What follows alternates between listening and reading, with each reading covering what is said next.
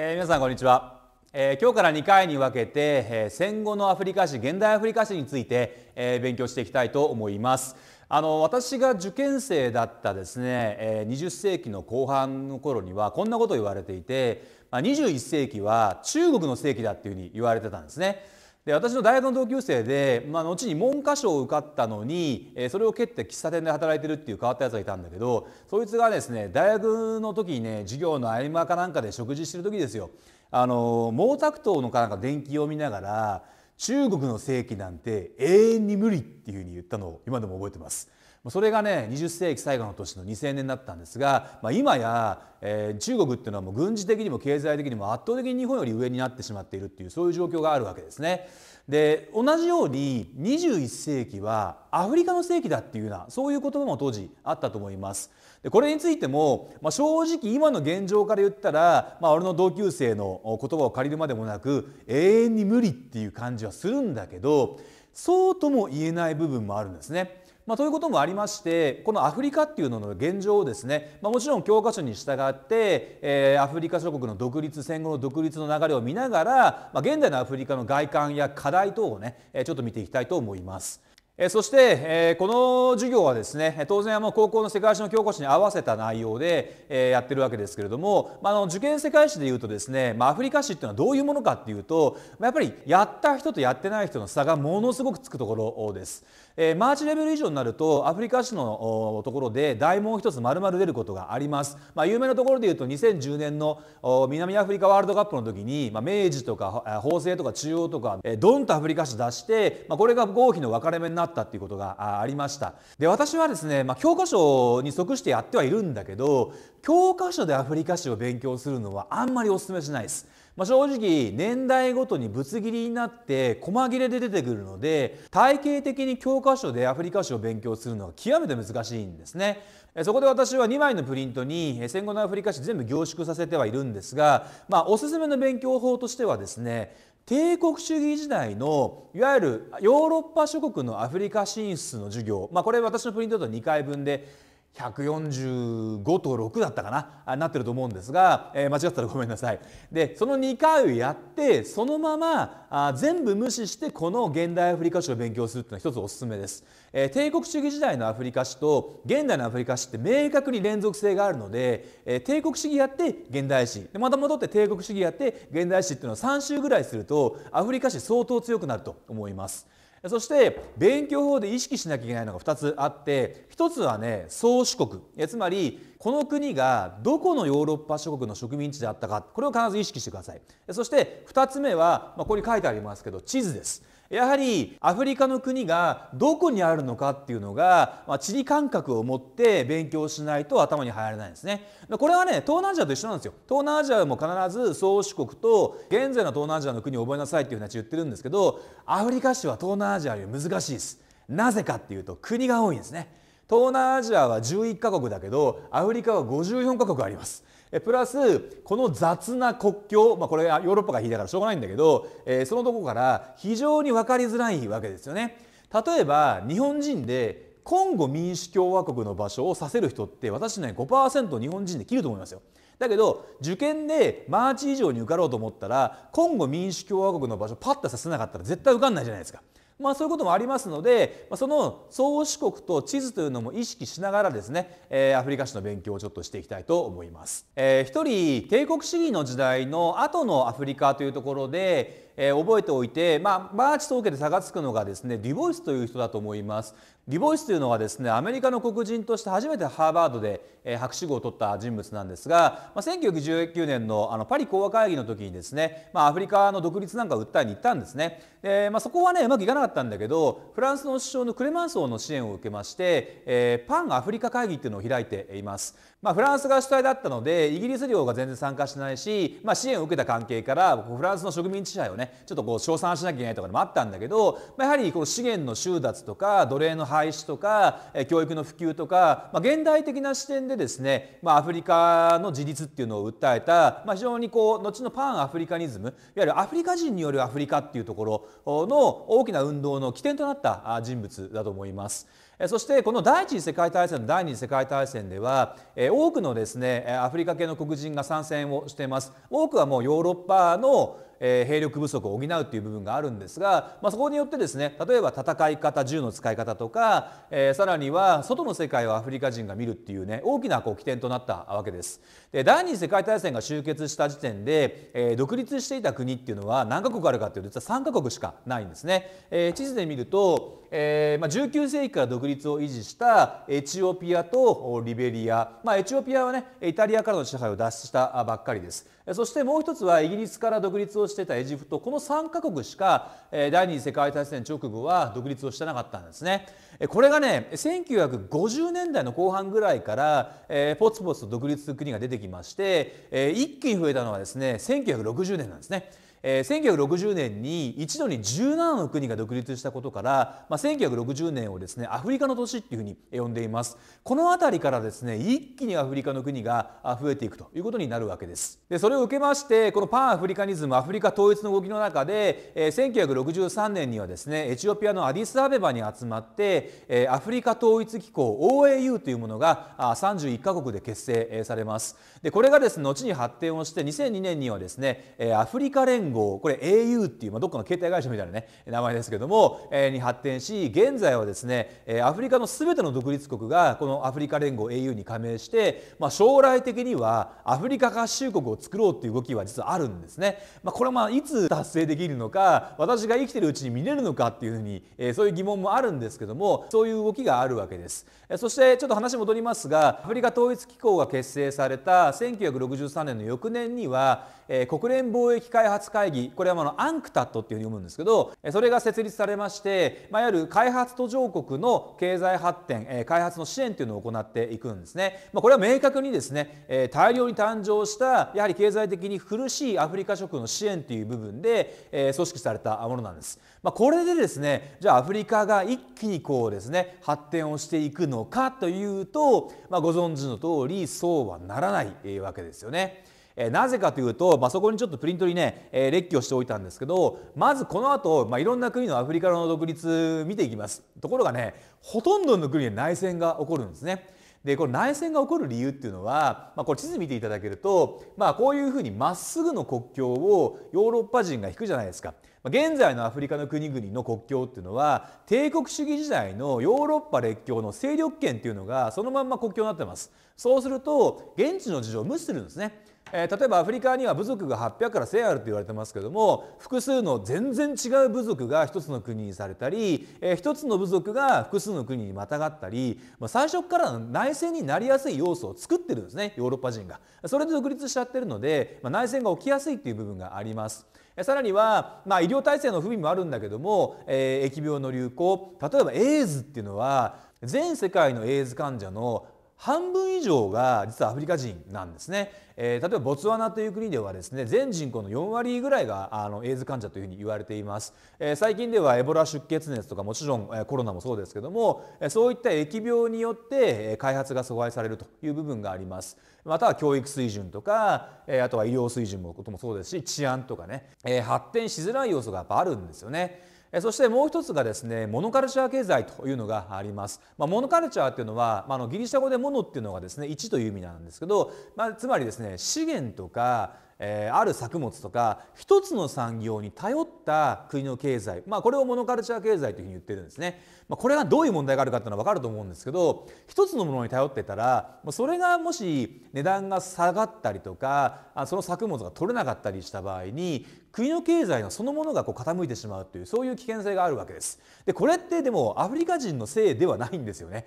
例えばヨーロッパ人がプランテーションとかを作ってその商品作物を輸出用に強制的に帝国主義時代植民地時代に栽培をさせてるから産業構造がそうなっちゃってるんですね。でしかもヨーロッパからそういう機会を買わざるを得ないから国の中で作る体制も作られていないそこで独立をするわけですね例えば交通網なんかも基本的にはそういったものを外に輸出するための交通網は作りますけど国全体を円滑に回すための交通網ってないわけですよ。まあ、そういう状況の中で、まあ、アフリカっていうのはなかなかやはり思うように発展はしないんだけど、まあ、それがアフリカ人が働かないから発展しないのかっていうといややはりヨーロッパの植民地支配の責任っていうのもあるんじゃないかなというふうに思います。えー、ではここからはですね広いアフリカを地域ごとに分けて、えー、勉強していきたいと思うんですがまず北アフリカですね、まあ、北アフリカっていうと、まあ、アフリカの当然北の方なんですけれども、まあ、サハラ砂漠の北の、まあ、この辺りの国々を見ていくんですが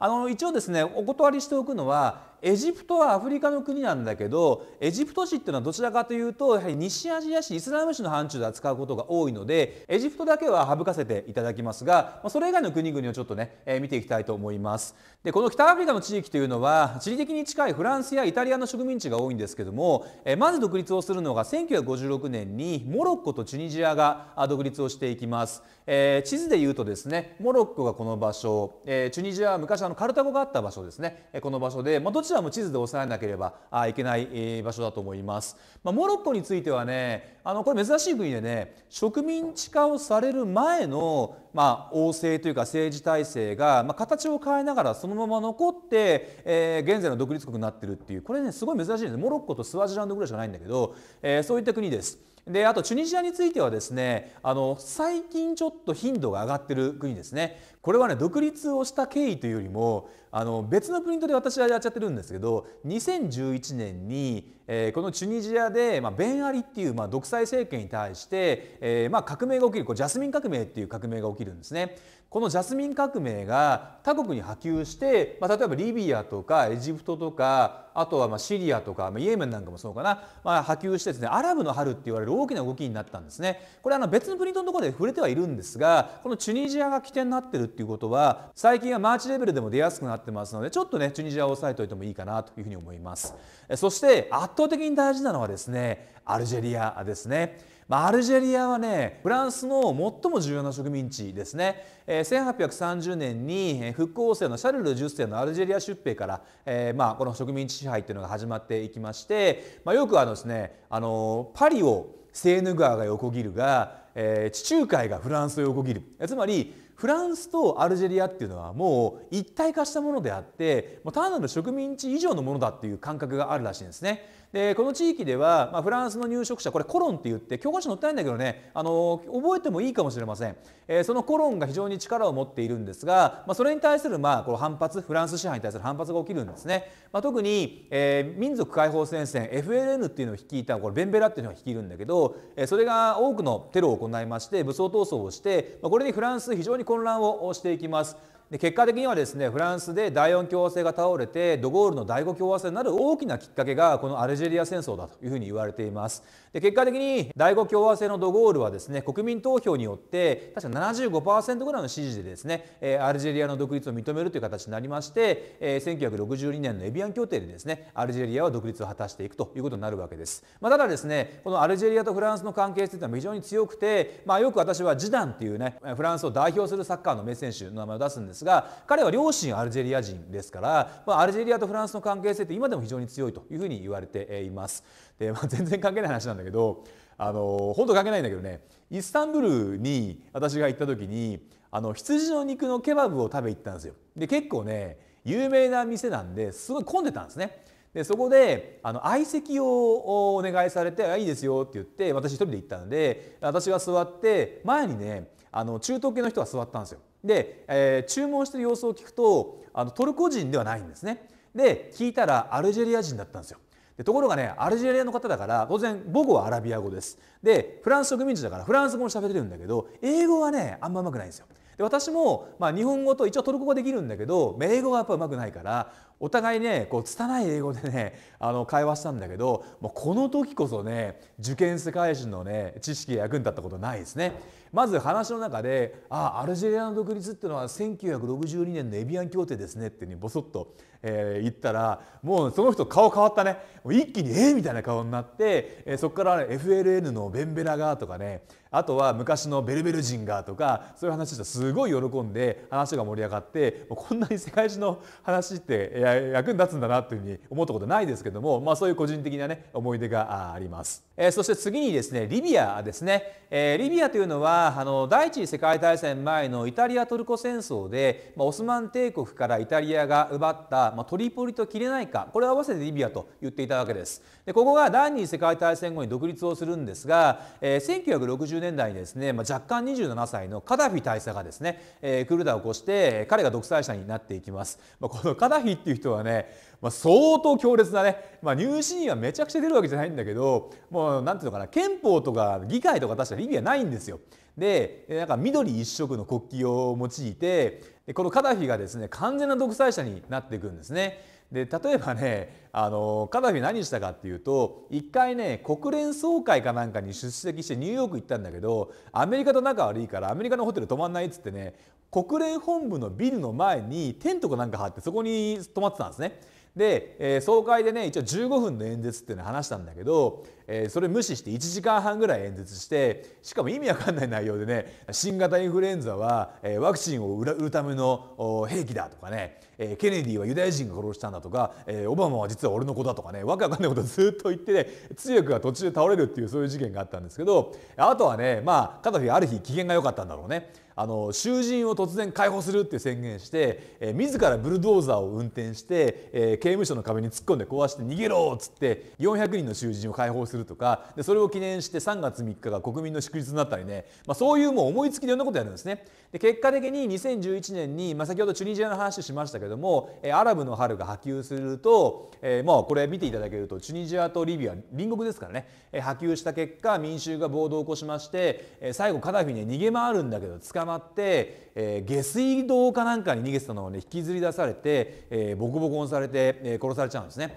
でこれはね、まあ、YouTube とかでこのカダフィが捕まってリンチに遭うシーンとかあの簡単に見れますので、まあ、興味がある人は見ていただければと思います。そして北部の最後のところでやるのがスーダンです。スーダンはですねエジプトと非常にね文化的に非常に近くてあの19世紀にはマフディの乱が起こった後にイギリスが植民地にしていた地域ですね。でこのスーダンはもともとアフリカで一番大きい国だったんですけども2011年に南スーダンが独立をしてそれ以降はねアルジェリアが今一番大きい国になってると思います。でこのスーダンはねもう内戦がすごくてまずもともとね北部のイスラム教徒と南部のキリスト教徒との間でずっと内戦やってたんですよこれね250万人ぐらい死んでるんですね。でそれが収まったと思ったら今度はね西部の地域でこれイスラム教徒同士でやるんだけど非アラブ人のスーダン人とアラブ人のスーダン人の間で戦争が起こってこれ同じ宗教でしかもアラブ人非アラブ人っつっても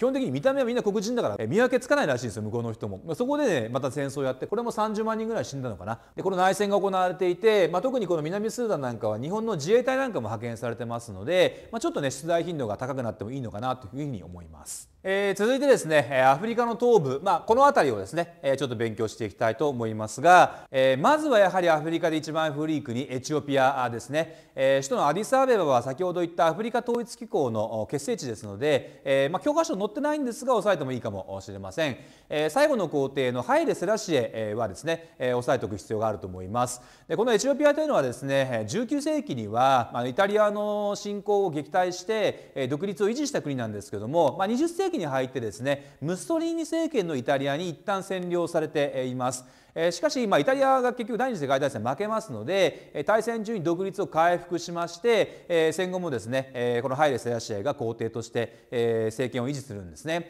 ま、ところがですね、ま、飢餓とか汚職とかこの政権の腐敗が進んでいって、ま、民主の生活苦しいんですよ。でその中でなんかねこれハイレスダッシュってねペットにライオンかなんかかかってるんだけどライオンの餌にすんごい高い高級牛肉をあげてたんですね。でそれが民衆が飢え死にしてんのにライオンにペットやってるって何事だっつってそれがきっかけでなんか暴動が起きてでこれが1974年のエチオピア革命になるんですね。でハイレ・セラシエはですね結果的には廃位をされた後にえー、殺されましてで難関大向けではねその後のエチオピアっていうのがどちらかというと社会主義の政権に移行するのでそこまで抑えるということですね、えー、難関大向けになるかなというふうに思います。まあ、エチオピア自体はね非常に古い国ですしハイレ・セラシエはね確かね戦後の日本に最初に来日をした、えー、国家元首がこの人だったと思いますので、まあ、日本との関連も実は深い人だということです。えー、続いてですねソマリアです、えー、この地域はですねもともとアフリカの角と呼ばれた地域で、まあ、ソマリランドっていう名前で呼ばれてたんですが、えー、イギリス領の地域とイタリア領の地域それぞれ独立した後に合併した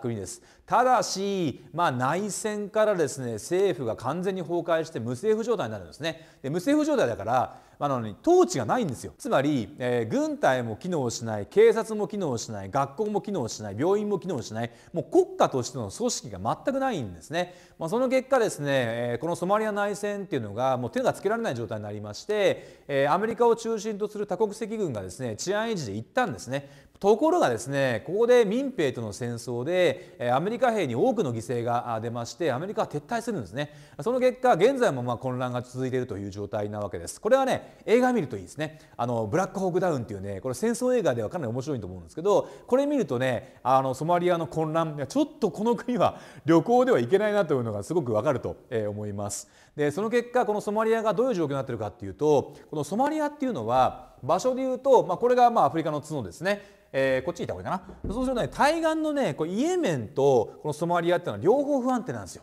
そうすると、まあ、スエズ運河を通るアジアとヨーロッパを結ぶ海上ルートのところがこのソマリアなんかも海賊がいっぱいうようよしてるので不安定になっちゃうんですね、まあ、その結果ですね、まあ、日本を含む世界経済にま大きな影響ダメージを与えているという状況なわけです、まあ、ですから日本の自衛隊なんかもなんかジブチなんかを拠点にしてですねこの海上ルートを守るために派遣されたりもありましたけども、まあ、ちょっとですね世界経済に欠かせない地域なのかなというふうに思います。えではですね1回目の最後はですねこの西アフリカの地域をですね、えー、見ていきたいと思います。でまず西アフリカで言ったら何といってもガーナを抑えなきゃいけないですね。ガーナはですねイギリス領のゴールドコーストと呼ばれた植民地でして、えー、初代大統領のンクルマという人をね、えー、中心に独立をしていきます。でこのンクルマっていうのはねアフリカ史ですごい大事な人で昔はあの発音が「ん」から始まるからあの欧米人には発音しづらいって言ってねエンクルマって載ってたんだけど、まあ、最近やっぱり教科書は現地読みにしようっていう動きがありますので、えー、今はねンクルマっていう方が主流になっています。でこのガーナが大事なのはねあのサハライナンで最初の独立国家はこのガーナなんですよ。ですのでこれはちょっとね重要性があるのかなというふうに思います。まあ、国名は昔のねガーナ王国に由来するんだけど場所全然関係ないねあの全然違うところどちらかというと場所はアシャンティ王国の場所なんだけども、まあ、このサハライナン最初の独立国っていうのは非常に重要性があります。続いてですねフランス領のギニアが1958年に独立を果たしていきますでこのギニアはですねあのセク・トゥーレという人によって独立をするんですがこのセク・トゥーレは19世紀にあのフランスの植民地支配に抵抗したサモリ・トゥーレの子孫にあたる人物ですねでねこれも全然関係ない話なんだけど日本で一番有名なギニア人って誰かって言ったら多分ね高校生は絶対知らないと思う。だけどもし年配の方が見てたら分かると思うんですけどオスマン・サンコンという方ご存知ですかね？もともとはギニアの大使館で働いている職員で当時やっぱり日本語を話せる黒人の人って珍しかったからそれであのテレビタレントみたいな感じで活躍した人ですね。であのこんな話があってね昔そのオスマン・サンコンさんがあの日本のお葬式かなんかにいたらしいんですよ。で葬式でこう神妙にね座っていてお経とかを聞いていたらなんかみんなおもむろにこう立ち上がって前の方に行くとで、えー、何かやってるわけですね。でもうサンコンさんも分かんないしもう葬式だから途中話がとか聞けないから何やってんだろうってずっと見たわけですよ。そしたら、まあ、立ち上がって前の方に行った人がこうなんかこう右手がこう動いてると右手で何かこう顔の方にこう近づけてると。で3回ぐらいやったら、えー、手を合わせてるこれは分かったと。でご遺族の方に向かっていって何か言ってると。で何言ってんだろうっていうふうにずっと聞いたら「ごなんとか様でした」って言うわけですね。でごなんとか様でしたああもうあれしかないなどということで理解してでサンコンさんの番がやってきて、えー、前に行ったら確かにこういい香りのするものが置いてあるなるほどとでこれを持って、えー、もちろんこう食べる、えー、2回目食べる3回目食べる。もちろんこれはあのご証拠のことなんですけども分かんないからこれ木くずを食べちゃったんですね。で口がジャリジャリになった状態でご遺族のもとに行ってごちそうさまでしたっつって帰ってったっていうね話があります。まあこれは全然関係ない話なんだけどあのギニアの日本で一番有名なギニア人は多分このオスマン・サンコンというね、えー、人だと思います、えー、続いてですねイギリスから独立したナイジェリアですがこのナイジェリアは悲惨ですね。あのナイジェリアはですね西部と北部と東部でまるっきりこう民族があ文化とかあの習慣が違うらしいんですね、まあ、あるナイジェリア人に言わせれば西部北部東部の違いはアイルランドドイツ中国ぐらい違うっていうふうに言うんですよ。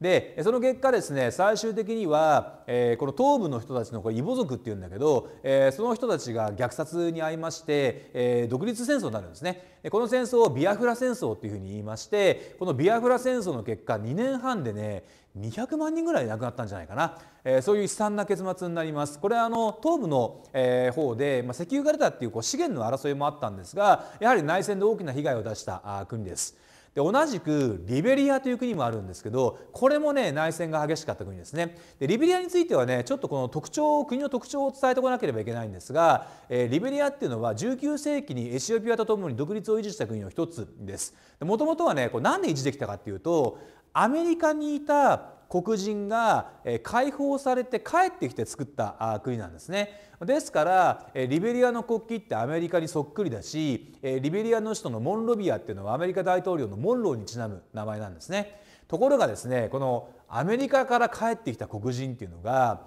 現地の黒人を差別するんだね原住民とかって呼んで。つまりねゴム農園か何かをアメリカから来た黒人が経営して現地のアフリカの黒人を労働者として搾取するみたいな。つまり黒人が黒人を人種差別するっていうそういう状況の中で国が不安定になるんですよ。で最終的には1980年以降に内戦とクルタが頻発してこれちょっと私もね授業ではちょっと話せないんですね。生産です。だからリベリア内戦拷問とかリベリア内戦処刑とかってやるとちょっとやっぱこう授業では話せないレベルのあの生々しい話が出てくるんでこれネットで調べない方がいいと思いますけど、まあ、そういう状況になるわけです。その後ですね一応2006年にアフリカ初の女性大統領であって確かノーベル平和賞もらったのかな？サーリーフっていう人が出てきまして内戦を終わらせて、ま、いわゆる復興の道を歩んでいるという状況にあるわけです。ま、ということでですねちょっとこのプリントが尽きてしまいましたので北部東部西部だけまとめておきました。